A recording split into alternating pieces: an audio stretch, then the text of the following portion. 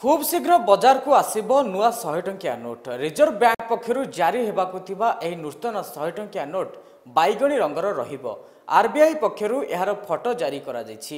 ନୂଆ ନୋଟ୍ ଆସିଲେ ବି ପୁରୁଣା ଶହେ ଟଙ୍କିଆ ନୋଟ୍ ପ୍ରଚଳନ ହେବ। ନୂଆ ନୋଟ୍ ଆସିଲେ ବି ପୁରୁଣା ଶହେ ଟଙ୍କିଆ ନୋଟ୍ ପ୍ରଚଳନ ହେବ। ନୂଆ ନୋଟ୍ ପୁରୁଣା ନୋଟ୍ରୁ ସାମାନ୍ୟ ଛୋଟ ଏବଂ ଦଶ ଟଙ୍କିଆଠୁ ସାମାନ୍ୟ ବଡ଼ ରହିବ। ନୂଆ ଶହେ ଟଙ୍କିଆ ନୋଟ୍ର ପଛ ପାର୍ଶ୍ୱରେ ଗୁଜରାଟର ରାଣୀ କି ଭାବ ସ୍ମାରକର ଚିତ୍ର ସ୍ଥାନ ପାଇଛି।